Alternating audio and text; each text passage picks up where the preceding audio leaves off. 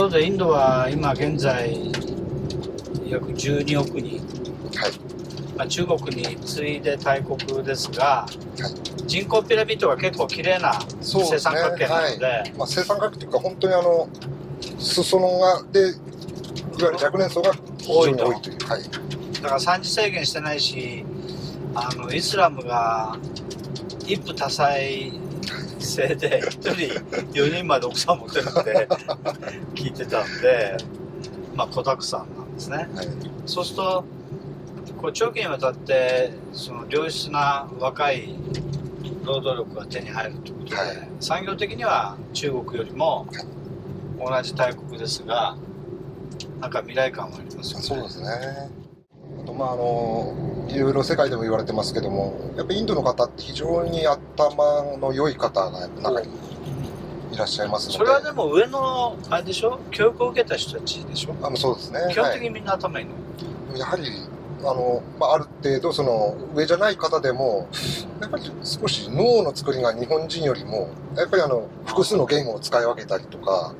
日本語を覚えるのがすごく早いとか、地頭がいいんだね、はい、多分あの違うんだなっていうのは私も生活してて感じます。あのなんか3桁の九九ができるんでしょ？あ2桁ですね。小学生で2桁の句ができてあとまあ3カ国語を大体普通の人は使い分けてる。えそれも英語とはい、英語とヒンディー語と、あとインドは州によってそのヒンディー語が全て、えー通じるわけではなくて、各州によってそれぞれの言語があるそうでして、18カ国語あるんですけど、だから彼らは3つを使い分けてますね。やっぱ頭いいね。なのでやっぱり我々日本人じゃね、英語もなかなか私もそんなにかなり苦労してますけども、脳みそのち作りはちょっと違うのかなと思いますね。いやーでもねこれ本当にいろんなとこ見てないとダメだか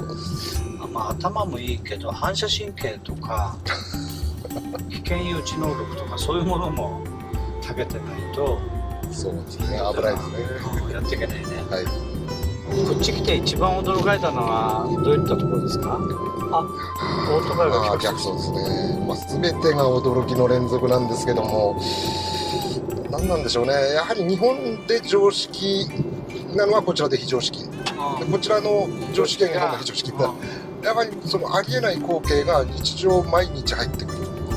まあ、今もあの牛乳を積んでるバイク走ってましたけどもあんな姿やはり日本じゃ見られないですね。そうですね。ミルクパン今10本ぐらい積んでましたけど。もただやっぱ驚いたのは人間ってすごいなっていうところですね。あ日本ってやっぱすごくあの整っていて美しくて大変あのべ便利で何でもあって、ええでもそれがやっぱり私も日本に来た時当たり前なんですけども。公衆トイレでウォシュレットがあって。もうこちらはもう全然無正反対なんですけどもまあある意味こんなひどい国全く整ってない不便ででも人間って生きて生きてる、まあ、十数億の人が生きてるわけで。でそこに幸せがあ幸せをそうですねで彼らえ本当にあのいい笑顔で暮らしてますし、まあ、なんかやっぱその人間の原点を見るような感じっていうのが一番感激というか驚きですかねまあ本当にアフリカ諸国もそうだけど、はいその環境の中での幸せっていうのを人人間は本能的に見つけていくんですよね。